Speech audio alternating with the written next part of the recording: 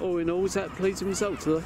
Yeah, I feel like you know we got the job done in the end. Um, we did make it difficult, you know, even though we went 2 0 up in the first half. Um, they did have some good chances, and, and lucky enough, you know, we were able to su survive their, their, their, their kind of progress with the ball. But ultimately, you know, second half we did wear them down, and we took our chances, and you know, got a, a vital three points and one game to go to bring this title back to Sheppey.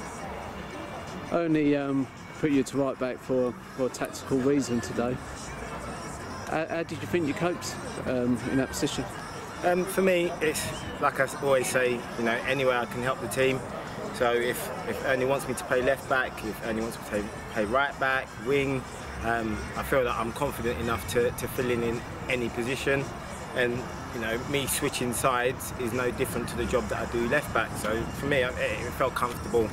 And as the game grew on, um, I kind of grew into that defensive aspect of playing right back for the side. So yeah, all in all, I think it's still a good performance.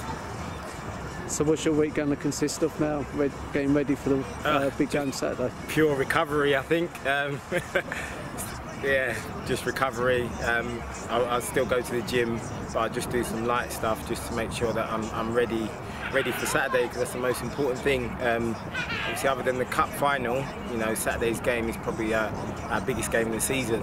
Um, so we need to make sure that everyone is is ready and fighting to try and get them three points and you know bring the title back to Sheppey obviously you was with us right at the start when we started in the post-lockdown tournament, which started in May. We're going to end in May. Does yeah. it feel like you've been playing for a year? Honestly, it doesn't. It goes so quickly. Like when you start at the beginning of the season, you're like, well, long nine months, 38 league games plus the cup games. You feel like, oh, how long is this season going to take? But look, now we're, you know, one league game left, one cup final left, you know, and the season's just literally gone like that. And you know, I do, I do feel like that the, the, squad as a whole is probably the fittest we've, we've actually been. Um, so the lockdown tournament that we did at the start is, definitely benefited us and you know, it's helped us be in this position that we're in now.